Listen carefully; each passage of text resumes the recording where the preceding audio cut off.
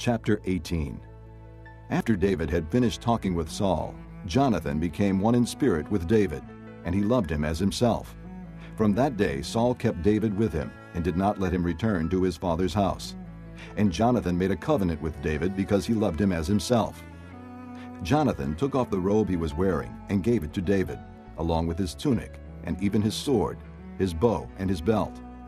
Whatever Saul sent him to do, David did it so successfully that Saul gave him a high rank in the army.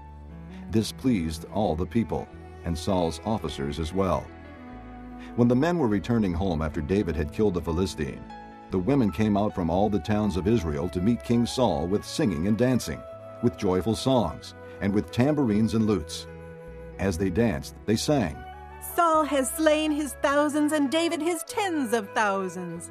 Saul was very angry. This refrain galled him. They have credited David with tens of thousands, he thought, but me with only thousands.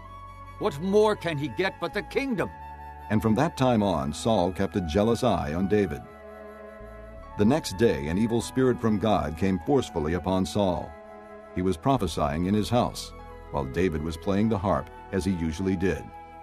Saul had a spear in his hand, and he hurled it, saying to himself, I'll pin David to the wall.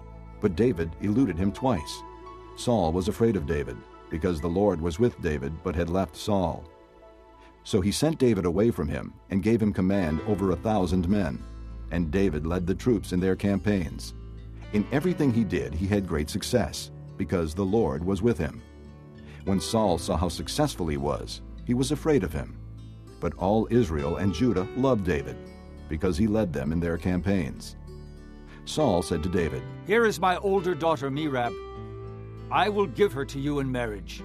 Only serve me bravely and fight the battles of the Lord. For Saul said to himself, I will not raise a hand against him. Let the Philistines do that. But David said to Saul, Who am I, and what is my family or my father's clan in Israel, that I should become the king's son in law? So when the time came for Merab, Saul's daughter, to be given to David, she was given in marriage to Adriel of Meholah. Now Saul's daughter Michal was in love with David, and when they told Saul about it, he was pleased. I will give her to him, he thought, so that she may be a snare to him, and so that the hand of the Philistines may be against him. So Saul said to David, Now you have a second opportunity to become my son in law.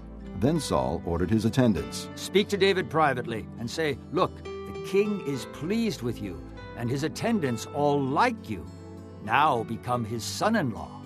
They repeated these words to David. But David said, Do you think it is a small matter to become the king's son in law? I'm only a poor man and little known. When Saul's servants told him what David had said, Saul replied, Say to David, The king wants no other price for the bride than a hundred Philistine foreskins to take revenge on his enemies. Saul's plan was to have David fall by the hands of the Philistines.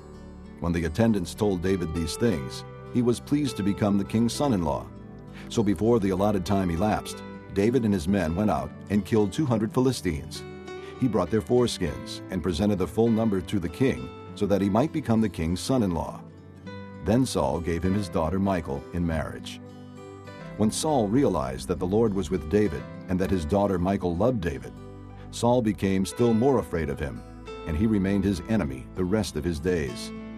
The Philistine commanders continued to go out to battle, and as often as they did, David met with more success than the rest of Saul's officers, and his name became well known.